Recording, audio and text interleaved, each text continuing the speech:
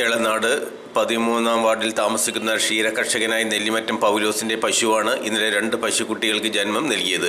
അമ്പത് വർഷത്തോളമായി ക്ഷീര കർഷക രംഗത്ത് പ്രവർത്തിക്കുകയാണ് പൗലോസിന്റെ കുടുംബം. പശുവും കുട്ടികളും സുഖമായിരിക്കുന്നതായി പൗലോസ് അറിയിച്ചു.